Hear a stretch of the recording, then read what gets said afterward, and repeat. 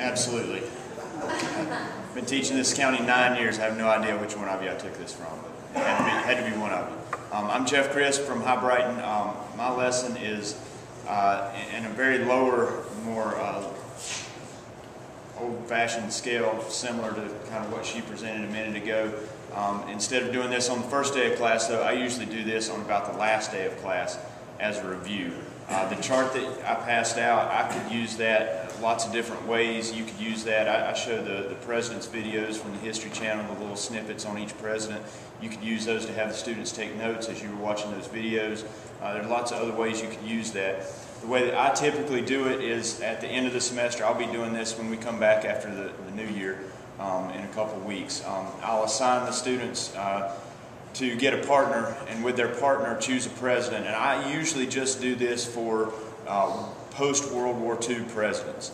Um, starting with Truman and going through George W. Bush, there are 11. So if you've got 22 students and they pair up, uh, that works out pretty good for each pair to have a president.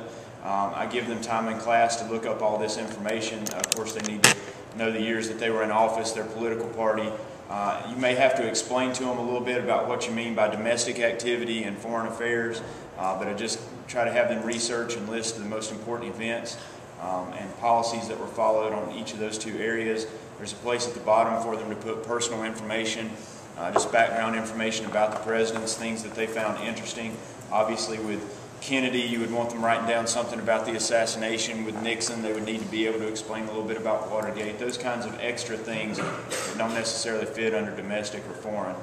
And then I'll have each uh, pair present to the class what they felt like the most important essential information about their president that they were assigned was.